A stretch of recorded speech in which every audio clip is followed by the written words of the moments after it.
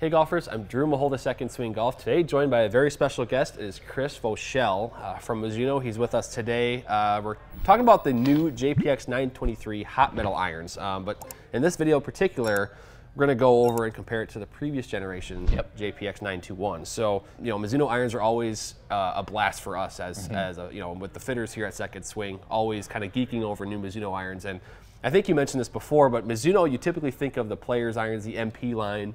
But the last few years, this hot metal series in this family has been making some serious noise in golf and in the fitting bays here. You're exactly right. I mean, what the hot metal has done for Mizuno is unbelievable. I mean, it's, it's increased our size just as a company overall. It, it's really been a great thing.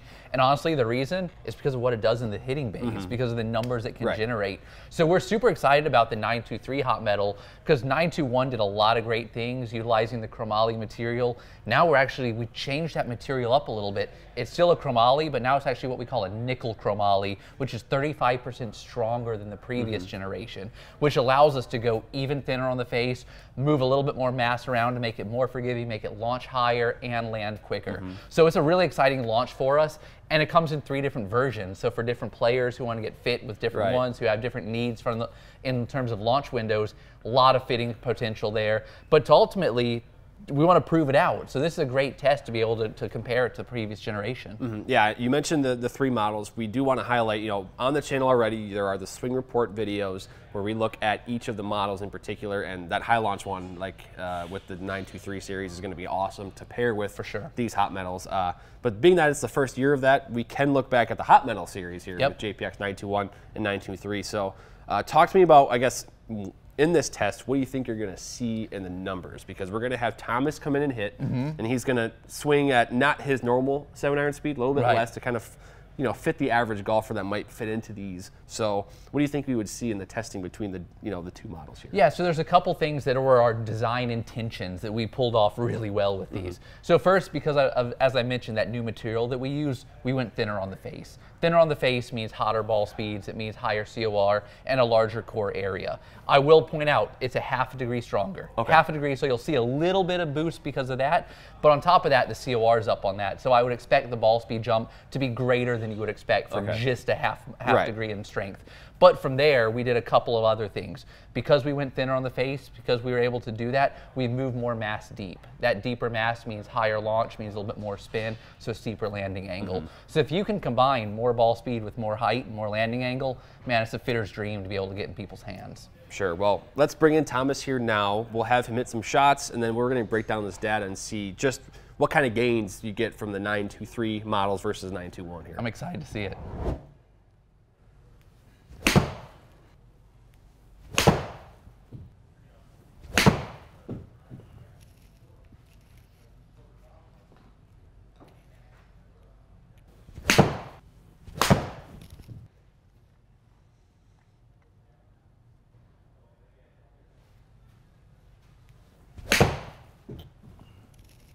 There's a jump. Was it a club speed jump or was it? No, it wasn't. No. It wasn't. It was a little more ball speed, that's for sure.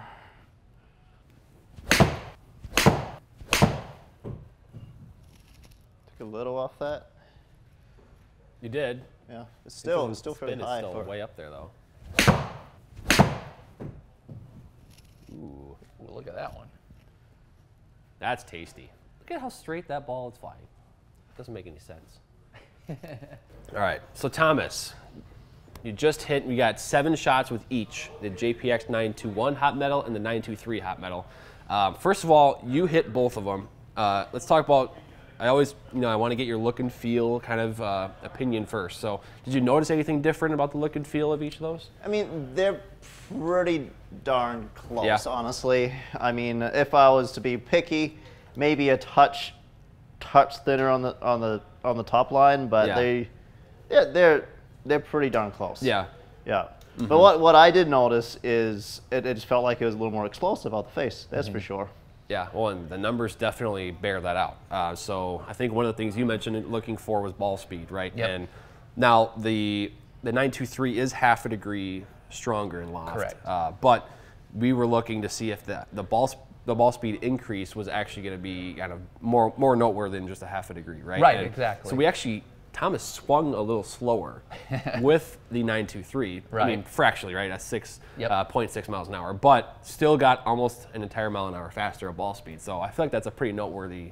Increase. Absolutely, it is. So uh, again, like like you said, you'd expect a little bit faster ball speed with stronger loft. Yeah. But what I want to point out more than anything is not only did ball speed go up, but launch angle went up. Mm-hmm. To me, those two things, those usually counteract each other. If Yeah. ball speed is up, launch is down, or, or other way around. So to have that increase in both, that speaks to an increase in COR, and increase in explosiveness off of that face. Mm-hmm. Right. And then uh, another thing too, we talked about there's an increase in spin with That's the, what amazes me. The Right. fact that it's half a degree stronger, because you know most of the time it follows loft, right? Generally, Right. spin is going to follow the amount of loft that's on Yeah. the golf club.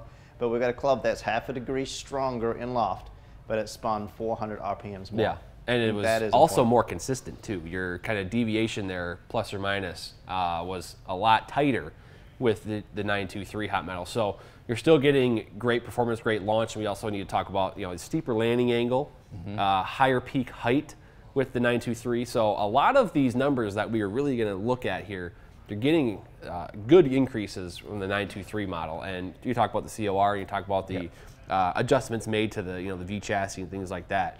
Seriously, seeing some results here with that. Absolutely, and, and there's a couple things you really want to focus on too. I mean, depending on where you look, you know, if you look at the actual carry distance, carry distance is down a touch. Yeah. But that's not necessarily a bad thing because it's getting there properly. It's getting there with a better landing angle, and actually the difference between the carry and the total is tighter, which Right, you'd right. like on a seven Right. iron. Yes. Mm-hmm. You know, with your speed, there's no way you want a seven iron to hit and release.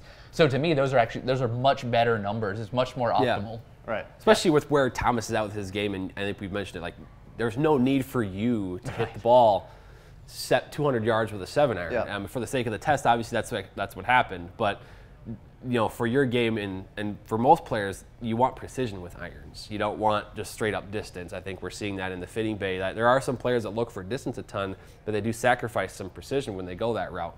Here, you kind of get the best of both worlds because he's still hitting the ball super far. Yeah, exactly. You know, it's not like for losing a ton of distance going No. from 921 to 923. You're probably gaining distance overall on a larger sample of a test. And obviously, the spin being high enough as it is, that's definitely increased. Landing angle steeper, height uh, higher in the air. Really good stuff here. Well, and it's test. important to point out that we're looking at seven iron numbers. You know, as you as you extrapolate that through the set, that steeper landing angle is a great thing. That means that that six iron you maybe struggle with, or that five iron Mm-hmm. you maybe struggle with, all of a sudden now it's landing at a proper angle as well. So this set, it's a better set, honestly. So it makes it easier to fit players in and make sure they have usable clubs from top to bottom of the bag. Mm-hmm. Yeah, right. And for this test, it's a test. It's a comparison of two heads. I was swinging about 87 miles an hour. It's slower than I would normally swing my seven iron. I tried to swing a little slower, maybe swing as slow as I wanted to. but you gotta keep in mind this is a comparison. So what you apples to apples here you can take away is the fact that even with a little less speed, I was still getting plenty of stopping power. I think that's Oh the yeah, important thing. yeah. And then we should also note. I'm just going to bring it up. We got the dispersion to look at too. So Yeah. we've got a tighter and kind of more centered, uh, Mm-hmm. you know, dispersion circle here for the JPX 923 hot metal. Uh, and look at how many of those shots are right on the center line there. Yeah, um, And- and, and honestly, mm-hmm. that that's because of some of the things we were able to do. You know, you, you hate to keep contributing it to a metal, but because we have that stronger metal that allowed us to go thinner on the face, that's mass that would have been in the center of the club head that mm-hmm. now we can put around the perimeter. Now we can put in the back. Now we can put to the toe and heel. Allow that club to be more stable. So even though, as you said, it looks very similar to dress. There's actually it plays like a bigger golf club because it's more stable and more MOI built into it. Yeah. Well, Thomas, I think this was a really good test, and I think we definitely see. Well, for number one, the JPX 921 hot metal still a really good performer For in its own right. Uh, you know, it's going to be a great option for golfers uh, in the you know rest of 2022 into 2023. Maybe looking for like a, a nice value of a game improvement set to you know increase uh, their performance with their irons, but. The 923 model, we definitely saw the increases that we wanted to. The ball speed is more, you know, more efficient strike with the smash factor, more ball speed, launch angle, spin rate.